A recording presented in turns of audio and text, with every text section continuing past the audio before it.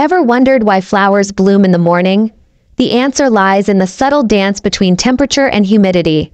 This dance, a delicate balance of nature's forces, prompts flowers to unfurl their petals at dawn's first light. It's a phenomenon that has fascinated humans for centuries, and yet, the intricate details of this natural spectacle remain largely unexplored. So, if you've ever marveled at the beauty of a flower opening its petals to the early morning sun, stick around to discover the science behind this natural spectacle. Temperature plays a crucial role in the blooming of flowers, and it's all about the morning chill. As the dawn breaks, the air is cool. This lower temperature sets in motion a series of events within the plant cells that trigger the blooming process. Here's how it works. Plants are just like us, they have a metabolism, which essentially means they have a set of chemical reactions that sustain life. However, unlike us, plants have the ability to adjust their metabolism in response to changes in temperature. When the morning chill hits, it slows down the plant's metabolism. This slowdown allows for certain proteins within the plant cells to accumulate.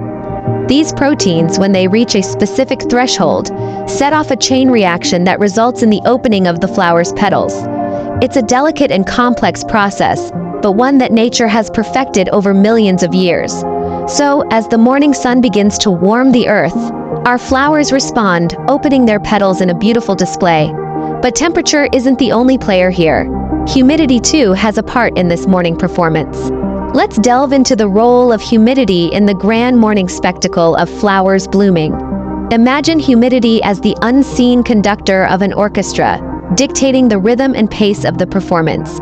High humidity levels in the morning provide the perfect conditions needed for flowers to bloom. Now, why is that? Well, it's all about water. You see, water is integral to the life of a plant. It helps transport nutrients, aids in photosynthesis, and provides the turgidity necessary for the plant to maintain its structure. Humidity, essentially the amount of water vapor in the air, influences the rate at which plants lose or gain water. When humidity levels are high, as they usually are in the morning, plants lose less water through evaporation. This allows them to preserve more water in their cells, which ultimately triggers the blooming process.